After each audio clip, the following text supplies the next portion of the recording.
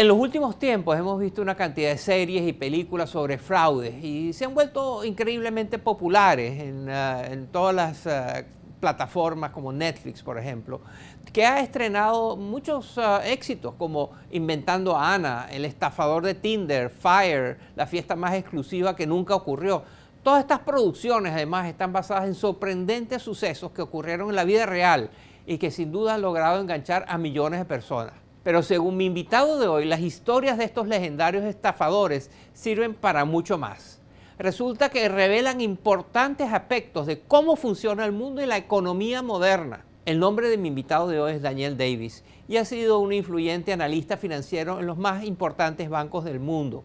Además, Davis ha sido economista del Banco de Inglaterra.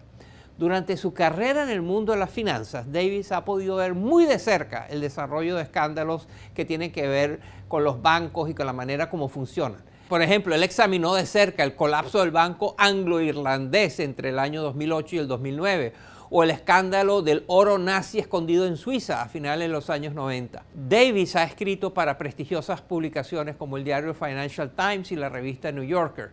Es autor de varios libros, entre ellos Mintiendo por Dinero, cómo los fraudes legendarios revelan el funcionamiento del mundo. Esta es mi conversación con el respetado economista Daniel Davis. Miren.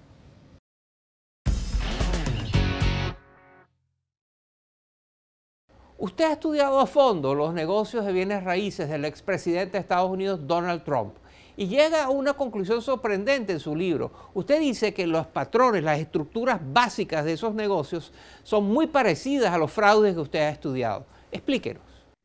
There's plenty of honest businessmen hay empresarios honestos en todo el mundo que piden dinero prestado y luego no lo devuelven porque algo sucede y caen en bancarrota. Lo que define un fraude es pedir dinero prestado con la intención de declararse en bancarrota más adelante y así abusar del sistema. Si alguien hubiese querido llevar a cabo un fraude, habría hecho transacciones muy similares a las que hizo Donald Trump en Atlantic City y habrían obtenido resultados muy similares. Lo que me resulta interesante es que en el caso de Trump no ha habido procesamiento criminal porque este tipo de crimen es muy difícil de probar. A menudo, la única diferencia entre un accidente comercial y fraude masivo es la intención de un solo ser humano.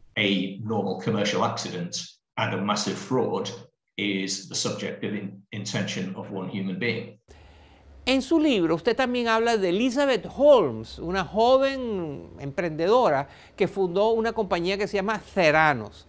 Esta empresa nació en Silicon Valley prometiendo un tratamiento médico revolucionario y consiguió cifras millonarias de inversiones para apoyar ese negocio. Sin embargo, terminó siendo un fraude. Cuéntenos.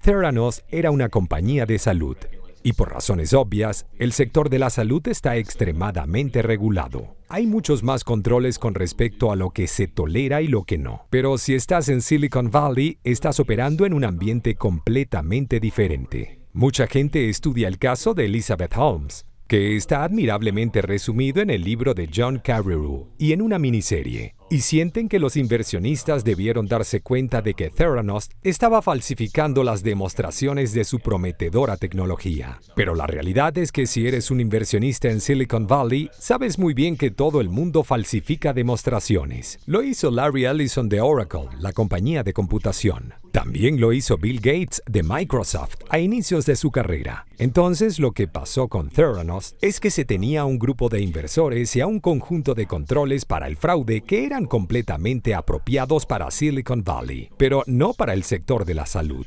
Recordemos que el objetivo de Silicon Valley no es evitar fraudes, sino detectar empresas unicornios con potencial masivo. Entonces creo que esto nos demuestra que diferentes prácticas en distintos contextos pueden ser fraudulentas o pueden ser las ideales para un buen negocio. O en el caso de Silicon Valley, a veces pueden ser ideales para un gran negocio.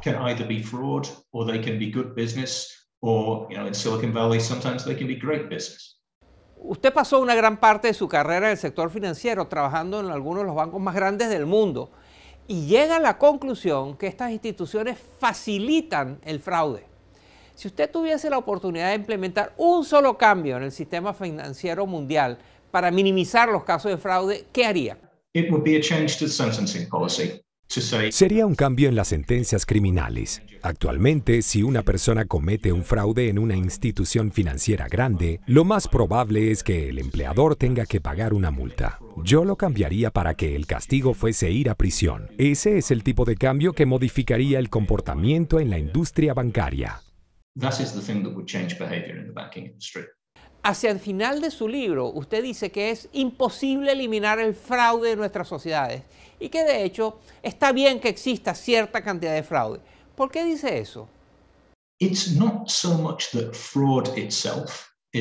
No es que el fraude sea bueno, sino que en un sistema financiero eficiente y funcional siempre habrá fraudes. Un ejemplo que utilizo mucho en mis charlas es el de la Universidad McEwan en Canadá. Esta institución recibió un correo electrónico en el que le pedían cambiar datos de su cuenta bancaria para hacer unos pagos. La universidad hizo caso y a través de un solo email perdió alrededor de 12 millones de dólares canadienses, lo cual es un fraude descabellado. Pero yo siempre le pregunto a la gente, ¿en qué tipo de país deseas vivir? ¿Prefieres vivir en un lugar donde a través de un correo electrónico se pueden hacer transacciones de 12 millones de dólares? ¿O quieres vivir en un país donde abrir una cuenta bancaria puede tardar seis semanas y en donde nadie hará negocios de ningún tipo contigo sin conocer a fondo tu familia? Parte del costo de tener una economía industrial próspera con altos niveles de confianza es que se abusará de esa confianza. Y entonces habrá lugares como Canadá, que tienen muchos más fraudes que lugares como Nigeria, Grecia o el Líbano, donde la gente no hará negocios contigo hasta que te hayan verificado. Todo depende del tipo de economía en el que prefieras vivir.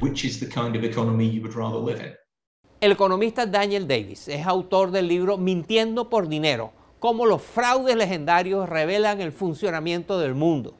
Gracias por esta interesante conversación, señor Davis. Thank you very much. It's been a pleasure. Antes de partir, no olvides presionar el botón que dice suscribirme aquí abajo de este video. Así te mantienes al día con todo el contenido de Efecto Naim. Gracias.